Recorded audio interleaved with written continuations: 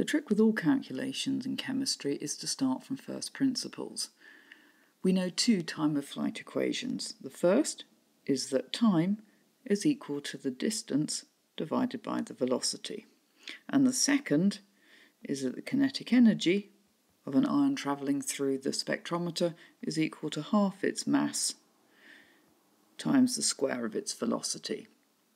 This question has asked us to calculate the length of the flight tube, which means what we've been asked to find is d, the distance. Rearranging the first equation gives us distance equals time multiplied by the velocity. Uh, we have the time, they gave it to us in the question. It is 2.42 times 10 to the minus 5 seconds.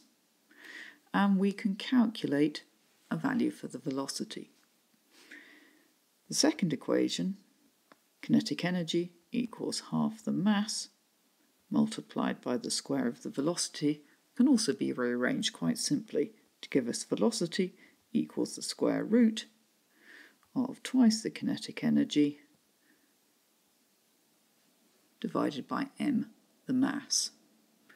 Once again, we know the kinetic energy, 2.95 times 10 to the minus 16. But we need to figure out the mass of a single rubidium-87 ion in kilograms. One mole of rubidium-87 has a mass of 87 grams per mole. In order to find the mass of one single ion, I need to divide that by Avogadro's number, the number of things in a mole. So that would be 87 divided by 6.02 times 10 to the 23.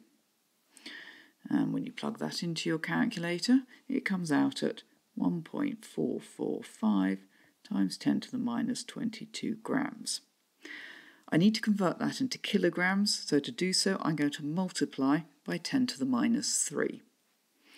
And when I do that, my answer comes out to 1.445 times 10 to the minus 25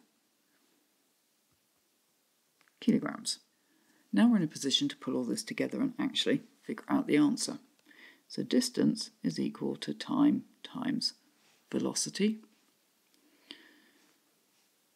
Or we could say that distance is equal to time multiplied by the square root of twice the kinetic energy divided by the mass of a single ion. So that would be 2.42 times 10 to the minus 5 multiplied by the square root of, or twice the kinetic energy, 2.95 times 10 to the minus 16, just about squeeze that in, divided by the mass of a single ion, 1.445 times 10 to the minus 25 kilograms. And when you plug all that into your calculator, it comes out at 1.55 metres. You can find notes as well as practice questions and answers at Crunch Chemistry. Just search for Mass Spec.